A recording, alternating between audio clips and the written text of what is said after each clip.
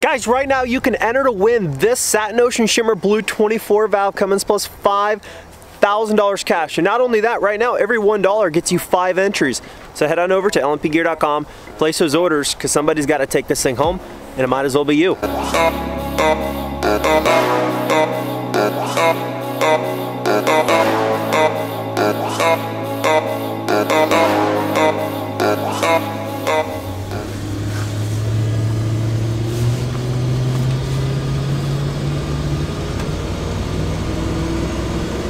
What's going on guys? Welcome back to the channel. We're gonna be doing a little bit of a work vlog here today. Hopefully guys caught yesterday's video, which hopefully it was yesterday that you saw the video if you're watching this one. Otherwise I'm running behind on my video again. If you saw yesterday's video, you know that we've made some changes to the YouTube platform and how we are going to diversify ourselves just a little bit more in terms of separating personal and vlog content from business content. And if you want to see more on that, what I'm talking about, watch the previous video and it'll explain a little bit more in detail because I don't want to do that in today's. We're on our way over to uh, my dad's property here. We're going to be doing some wood cutting possibly and a couple other miscellaneous things.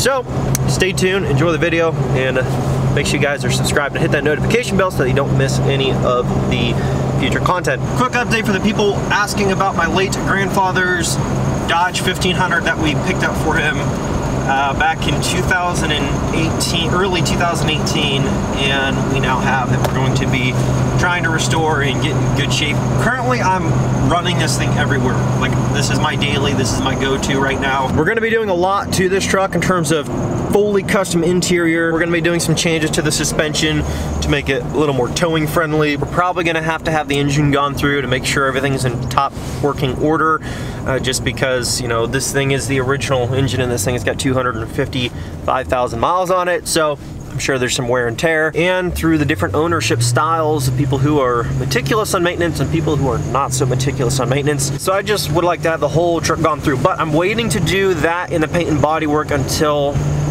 closer to like springtime just because like right now this is like our go-to to drive daily.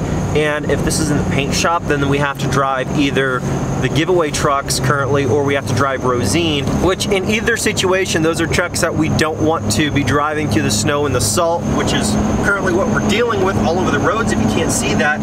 So um, as a courtesy we like to try to drive this one at the moment because it's already got a bunch of rust on it that we're going to be getting fixed. And so I figure let's just limp it through the rest of the winter. Not really limp it through, it's got a little squeak on the belt, but other than that, it, it runs and drives great. But let's just run this through the rest of the winter. And then when we're not worried about getting salt or anything else on the other vehicles because they won't be spreading it on the roads anymore, then drive um, either Rosine or giveaway trucks in the meantime while this is getting all redone, paint, bodywork, custom interior, I mean just everything. So anyways, quick little update on that for you. Out here at the location where we're gonna be cutting and splitting today. Dad's got the chainsaw out there, cutting some more rounds to split. So I'm gonna get the camera rolling and get to splitting some firewood and see how much we can get knocked out here. I've been dreaming on in my head like I've seen it. A life worth living is a life with meaning. I'll do what I love till my heart stops beating. I'm feeding this demon. Got a taste, can't erase bitterness in my face. Work a job every day.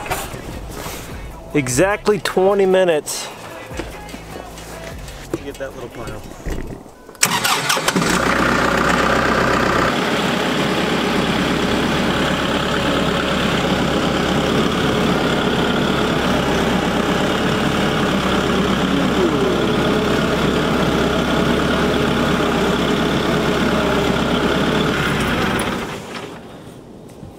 You gonna sweep the floors or what do you got going on there? Mary Poppins got a lot done in her day. I don't know if I ever saw her with a broom, but I'm to think of it as an umbrella. Hey, I think you're thinking more of like Cinderella or so. I don't, I don't know what you're talking about, but Cinderella knew how to get stuff done. yeah.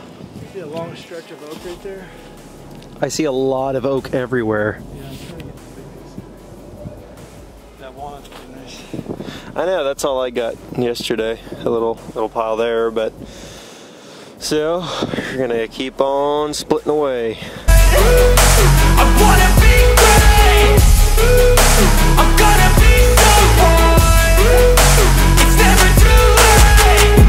Pace on when I chase like that Yeah, I play so strong with a knife in the back. I'ma swing home run like a baseball bat. Gonna see me rise, you can hate on that. I don't play both sides, doing me no cap. I'ma ride or die for my dreams on tap. I'ma fly real high, you ain't see me slack. No, it's not how you fall, it's how you get right back up. It's how you get tough. Well, Dad had to head out. He had to run to the office about an hour ago, but we did get quite a bit of firewood cut and split.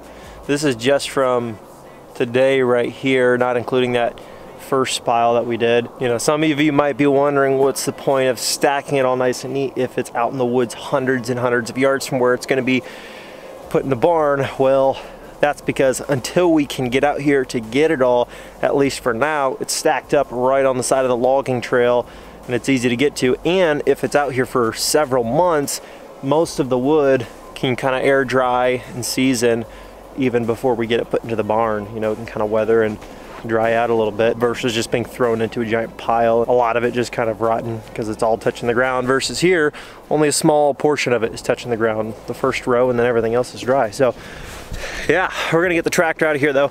I don't know if ever, we never did a video with this. This is actually Dad's new Kubota. He got rid of the, the other one. He never had any problems with it other than it stalled a couple times just because of a dirty fuel filter. But other than that, it was a great tractor. He had it since 2011 and it never really gave him any problems. This is actually a 60 horse, I believe. Pretty stinking nice. I like the hydrostat on it. Not gonna lie, when I get a tractor that I'm gonna use for like this kind of work or like food plot work and stuff like that, this might be a little bit overkill, but the hydrostat is definitely gonna be nice, especially for the stuff that I would do, which is like just maintaining trails and planting food plots for all the deer hunting I do. This thing is super nice because the other one was a shuttle shift and um, it was nice too. It was nice for longer days or hours or whatever. If you're kind of just like going straight into field bush hogging that's hundreds of yards long, you know, then you're just wanting to basically put it in gear and go. But this also has like a cruise setting as well. So it can kind of do the same thing, uh, just, just a little bit different, I guess you could say. The output of the power is a little bit different, but this is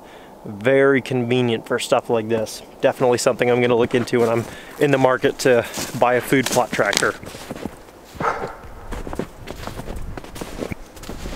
Welcome to the final segment of this video. Hopefully you guys enjoyed the time lapse of cutting and splitting wood with my dad, seeing the new tractor. We didn't do a full overview of the tractor just because, you know, I didn't think it was the most important part of the video, but maybe you guys want to see more on the tractor. So we're going to go through a couple of questions and we're going to give you guys a little bit of a teaser of some stuff that we have coming up. And like I said, guys, previously, if you follow me on the business page, Instagram, or the business Facebook page, or even on my personal account, Mr. LNP, we give little pieces of information and insight on some of the stuff that we've got coming up, some stuff that we're working on here. We are working on some new things and diversify ourselves beyond shirts, hoodies, hats, keychain stickers. You get the idea, like clothing and accessories. And I think you guys are gonna really like the direction that we go. Sneak peek of one of the many things coming to the LNP brand. Um, you guys can take your guesses down in the comment section below of all the other stuff. I don't have everything here. I just have a couple little samples of one of the many new things we're going to be changing that we offer in the store. And it'll give you guys much better options of things to buy, much more usable products,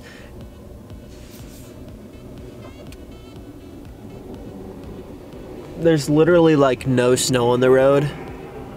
The, the guy just, the plow was literally shooting flames. I mean, the road has like, there was like a little tiny sliver of dusting of snow on the edge of the road, but it's like 45 degrees today now. And so the road for the most part is bone dry. There's not even like salt visibly on the road anymore because they haven't been plowing or anything for like days. And this guy just comes by like trying to get the little dusting off the edge of the line hilarious. If you guys want to see full product reveals and more in-depth on what we have coming onto the channel, I'm going to be dropping those videos very soon on the LNP Gear YouTube page. A lot of you guys have already found it and you're already subscribed, but if you haven't, definitely go check it out. Link is in the description below, or I'll leave a comment down below if you want to see just everything about the LNP brand and videos that are just about the brand, the giveaways, and the trucks, and like just strictly LNP gear business. Answering some questions I got on social media. I just said, hey, shoot me some of your questions that you guys have had, whether it's about the truck, about the brand, stuff like that. So let's get into it. Somebody just said, will you ever buy another crew cab Cummins to build? Yes, we will most definitely be buying another crew cab Cummins, whether it's a third gen, fourth gen. Yes, we will have another crew cab Cummins here at some point very soon, I'm sure. I'm gonna pull some Facebook comments because I don't always pull very many Facebook comments. It's usually just Instagram or YouTube. Does the truck have an aftermarket lift pump? And he is referring to this 9824 valve Cummins that you guys can enter to win right now, plus five grand. And yes, it does have an aftermarket lift pump. Is the trans stock on the truck? Transmission is not stock. It does have some internal up upgrades, and it does have a shift kit as well. Shifts very smooth and very firm. It's not like, it doesn't feel weak and like, you know, one of those weak stock transmissions where you have to like throttle it up and like you know, feather the throttle to get it to change gears because it's so weak. This transmission is not like it. You can just lay into it and the thing will just keep high RPMs and firm shifts that are very smooth transitions. How do you guys pick and draw the winners? If you guys want that information, I made a video on that new YouTube page that goes through all the details on how to enter, how we draw winners, things to look out for, for, you know, scam pages and stuff like that to avoid. So definitely go check that out for that video because there's like a whole long three and a half, four minute process I go through on everything about the giveaway, how to enter and all the other steps of the way and what you guys can expect. Now we're gonna hop on over to Instagram here. We're gonna try to pull a couple of comments from. Somebody asked me on Instagram, why do you sometimes say and mention the mileage a lot, and other times you don't mention it much. To answer the question in a very brief manner, for example, we had a first gen at one point, actually a couple different low mileage first gens, one had 55,000 miles. I mentioned it in like every other post in the description down below, this truck only has 55,000 miles. Then we had a first one with only 86,000 miles. I was like, this truck only has 86,000 miles. Like I mentioned it like crazy. And then we'll have five trucks in a row where I don't really mention the mileage much. I don't brag about it all over the internet.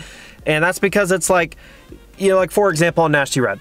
Nasty Red had 157,000 miles on it. Is that crazy high mileage?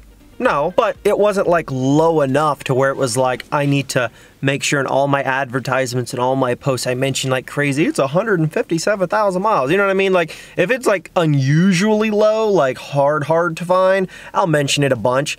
If it's not like unreal to find and it's like, okay, you can this isn't like something that's crazy low that like you're never gonna find again. If it's not like that big of a deal, I don't mention it a bunch just because I don't think that's the most important thing about the truck. I brag more about how clean a truck is or how good it looks or how good it's set up or how good it runs and drives and shifts your gears more than I would like bragging about the mileage on a truck that's not like crazy low mileage. If it's not like one of the coolest things about it in terms of how original or low miles it is. That's just not my vocal point on the truck because it's not the most important thing about the truck to me. Thanks so much for watching. I hope you guys enjoyed this video. If you like this style of video in terms of the first half of it a lot more, definitely let me know down in the comment section below and I would happily make more like it. I like getting out in the woods and doing work, especially with my dad. It's something that I do not mind at all doing and filming because, I mean, it's fun to just go and do stuff anyway most times. If you enjoyed this video, smash that thumbs up, comment down below, subscribe if you have not done so yet. I love the road noise here. Can't wait until it's gone. That is also coming soon. Thank you guys so much for all the love and all the support, and I will catch you in the next video.